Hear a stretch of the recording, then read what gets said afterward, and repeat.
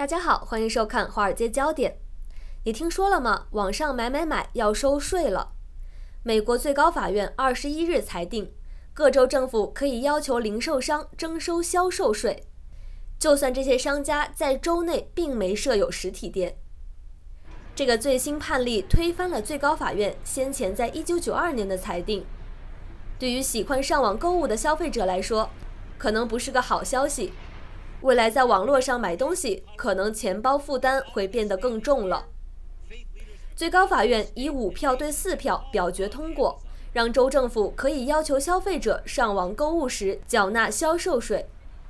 最高法院大法官肯尼迪在判决中写道：“一九九二年的判例是有瑕疵的。”肯尼迪指出，只向实体店面商家征收销售税的结果，造成年复一年与经济现实脱节，各州政府要承受严重的税收流失。州政府可以要求网络商加征销售税的判决出炉之后，网络购物龙头亚马逊以及网络零售商 Wayfair、拍卖网站 eBay 股价都立即走跌。随着电子商务蓬勃发展。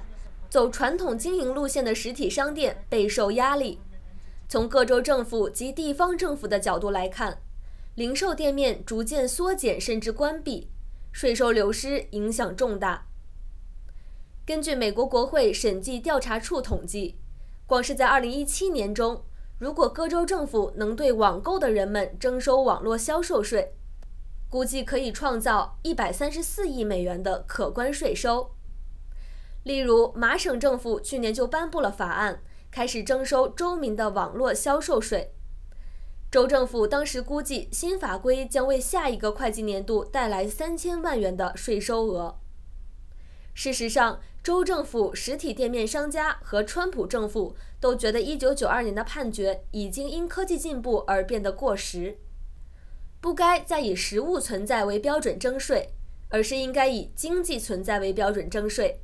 这样才能更正确地反映国家的商务活动，并且减少政府预算漏洞与贸易上不公平的竞争。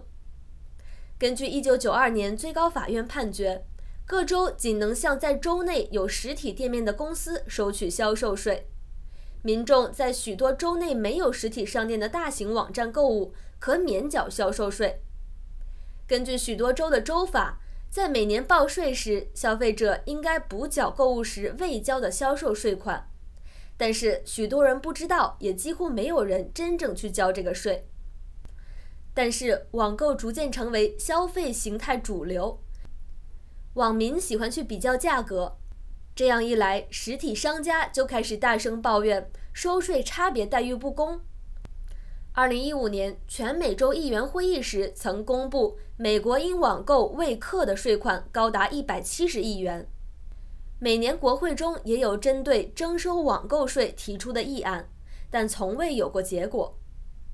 在这个征收销售税新法案通过之前，想要增加税收的各州政府在联邦立法短期无望的情形下，各显神通，想方设法的要课征网购税。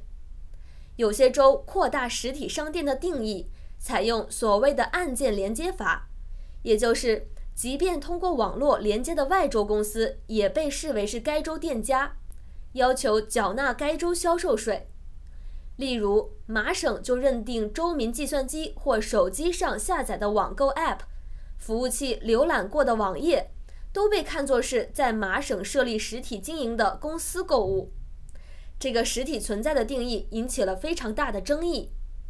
反对者认为，为了增加税收，麻省的这个理论简直太离谱了。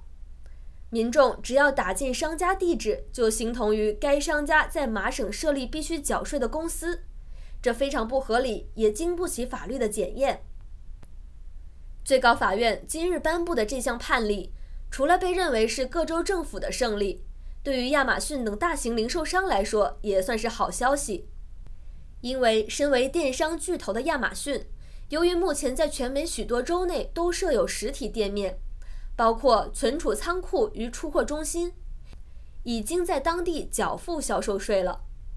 然而，规模较小的网店，例如居家生活用品零售网站 Wayfair 与 Overstock，实体店面的数量、规模与分布都远远不及亚马逊，没有达到必须在各州缴交销售税的标准。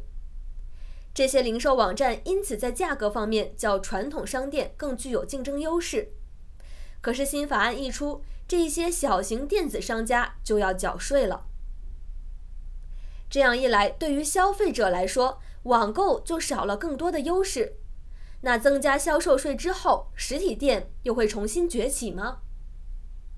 以上是蒋洋洋为您播报的华尔街焦点，感谢您的收看。